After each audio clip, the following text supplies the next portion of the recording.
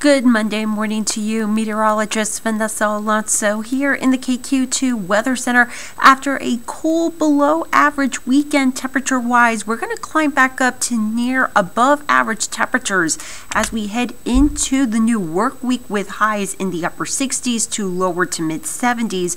And we're also going to be in a very spring like pattern as we are going to have chances for showers, even thunderstorms on and off throughout the work week.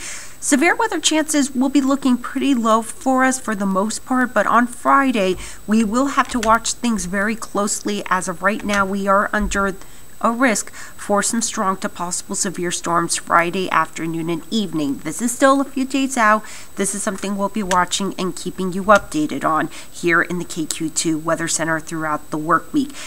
This morning, we have been seeing clouds building in on our satellite and radar, and that's going to continue throughout the rest of the morning into the afternoon as we are seeing our next storm system setting up over the Dakotas. This is going to push through here later on tonight into early Tuesday morning. That will bring us chances of rain.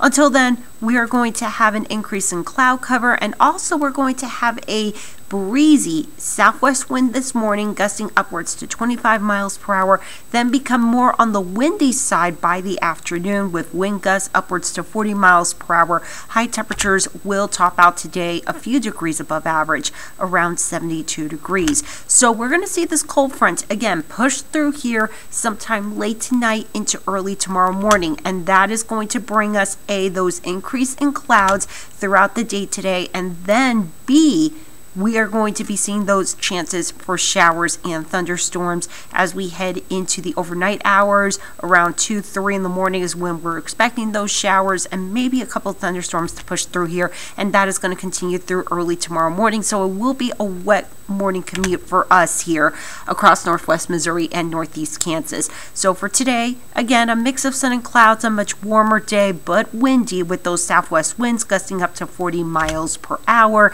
And looking ahead again to your seven day forecast, we'll be watching closely for that chance for strong to severe storms on Friday. But until then, a typical April spring pattern here in northwest Missouri and northeast Kansas with near to slightly above average temperatures and on and off again rain and storm chances. Have a great one.